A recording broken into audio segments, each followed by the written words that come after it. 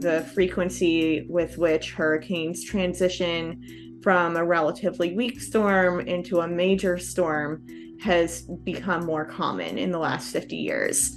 And this has all happened over a time period when we've seen ocean waters get warmer. Um, you know, we've had 90% of the excess warming that humans have caused to the planet going into our oceans. And that just serves as fuel for these storms to intensify more quickly.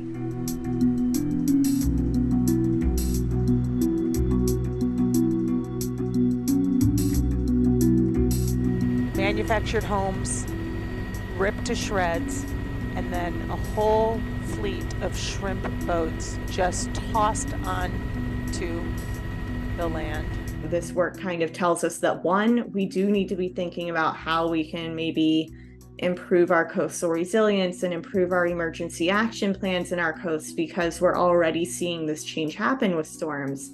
But it's also telling us that if we want to avoid this trend continuing to worsen, we need to be working to mitigate climate change um, here and now so that it doesn't get worse in the future.